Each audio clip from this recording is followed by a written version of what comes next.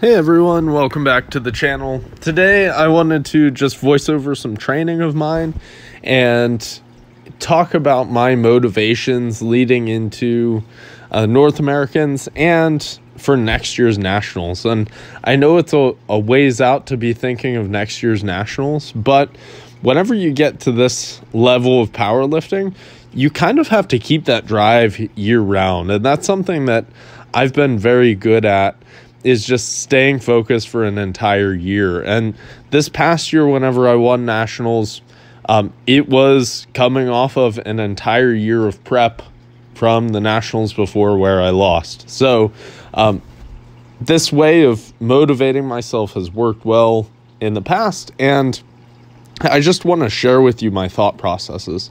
Now, as you could probably tell from the title of the video, I'm training with a bit of a chip on my shoulder. Now, you might, as winning nationals and being the national champion, you might think that I have a sense of relief, like, oh, I finally got there. But I feel like since I had gotten that title, there are still some nagging things that um, have been on my mind and they still drive me to train hard to this day. And, you know, I wouldn't have it any other way.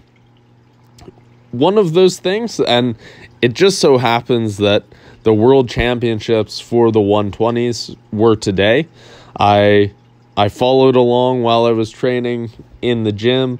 Congrats to all of the 120s who competed. And I do want to say this right off the bat this is not um, meant to slight anyone. I love all of my fellow competitors.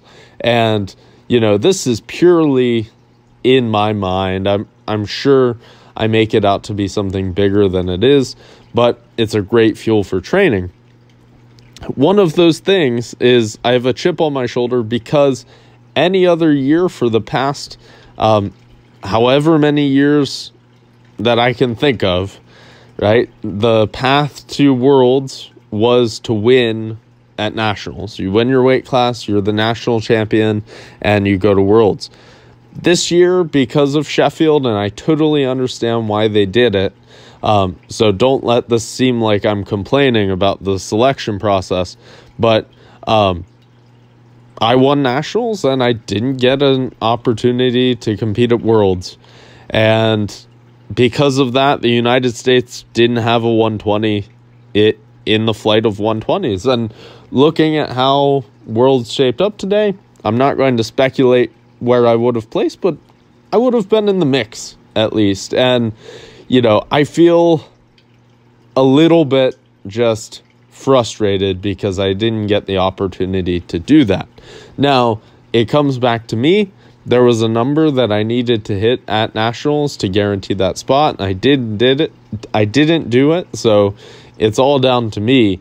But there is a part of me that's like, ah, any other year if I would have won, I would have been on the team. So there's that. The second thing that I have a bit of a chip on my shoulder that I'm carrying around, and I think about it every day whenever I train, is I just got this overall feeling from nationals and hearing like the the talk around nationals I felt like it was I I just got this feeling like I won by default or maybe people thought that way and maybe that actually isn't the way that people were thinking, but instead of hearing about my performance succeeding, uh, there was a lot of talk about, you know, Mike Tuchscherer's back injury and how Enrico it wasn't 100%. And um,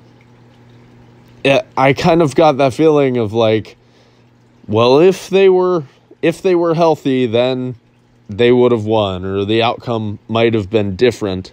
And in my head, I feel like that diminishes what I was able to accomplish and and it's frustrating. So um, I almost feel like unfinished business being able to you know go and I have to defend that title because you know what? Hopefully next year Mike's completely healthy. I'll I'll get to compete with him in North Americans as well. And shout out to Mike. He's, you know, everyone knows this at this point, but he's a lifter that I've looked up to for a long time. And same thing for Enrique.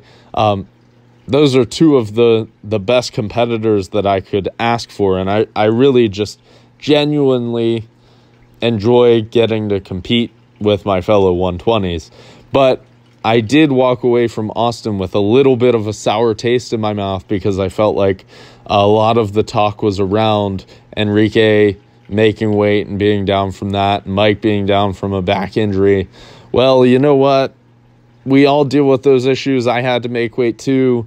Um, we all deal with injuries, and you know, it is what it is. But I'm just driven to make it happen again next year, hopefully, you know, and um, kind of put those feelings to rest, at least from my end.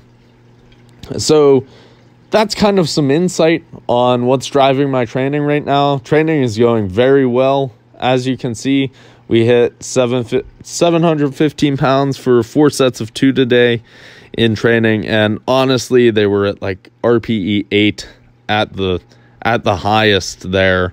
So you know, either way, I'm going to bring something huge to the table in August, and we'll kind of let the cards fall where they they may. Now, the last thing that I'll say is when you're motivating yourself, right?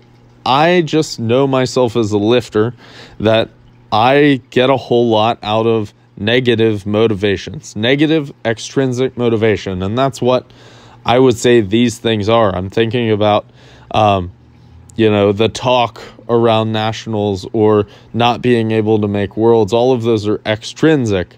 Um, ultimately, if you want to make it a long time in the sport, the base of your lifting has to come from intrinsic motivation.